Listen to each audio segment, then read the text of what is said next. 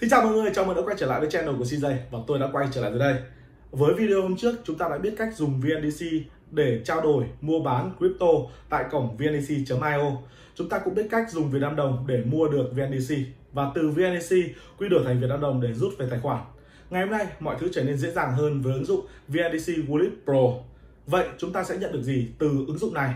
Hãy cùng Hòa khám phá trong video ngày hôm nay review hướng dẫn sử dụng ứng dụng VNDC Wallet Pro. Bắt đầu thôi nào!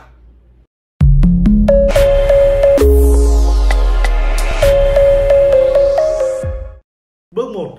Từ màn hình chính của điện thoại vào chợ CH Play đối với điện thoại Android hay App Store đối với điện thoại iOS.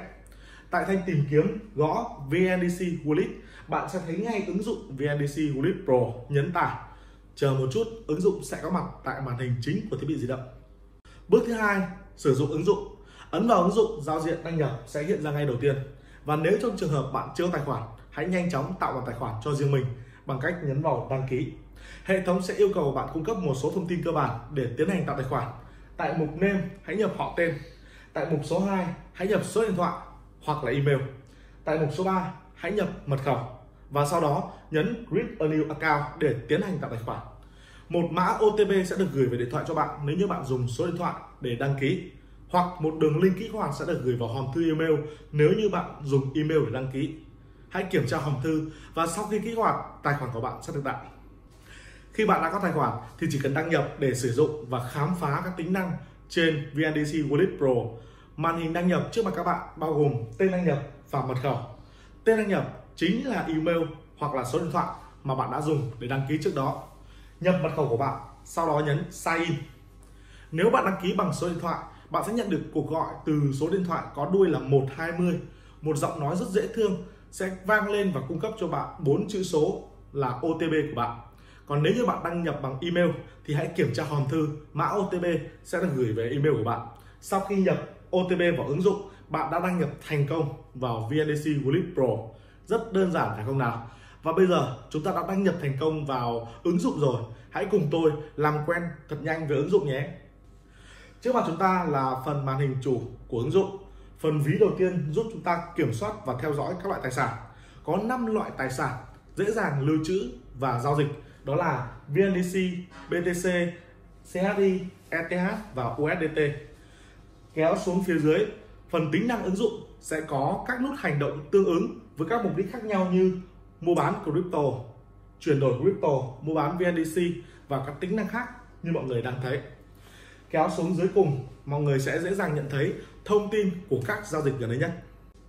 Ok, quay lại màn hình chính trên ứng dụng. Tôi sẽ rất sai sót khi không giới thiệu cho mọi người hai nút nhỏ nhưng vô cùng quyền lực. Nút ba gạch góc bên trái của ứng dụng cho phép chúng ta kiểm soát rất nhiều thông tin cá nhân của người dùng cũng như một số thao tác cơ bản à, như thay đổi mật khẩu cho phép đăng nhập bằng vân tay hay là khuôn mặt thông tin KYC còn hình cái chuông góc trên cùng bên phải của ứng dụng cho phép chúng ta xem toàn bộ các thông tin giao dịch đã phát sinh trên tài khoản. Và một trong những tính năng quan trọng của VNDC hiện tại đó chính là tính năng Staking Daily. Với những tài sản như VNDC, USDT, USDS và CRI, khi mọi người lưu trữ tại VNDC Wallet, mọi người sẽ được tham gia chương trình Staking Daily nhận lãi hàng ngày vào lúc 23 giờ 59 phút từ VNDC. Với những tài sản như USDT, USDS, CHI, mọi người sẽ lần lượt nhận được lãi lên tới 6%, 6% và 3% trên một năm.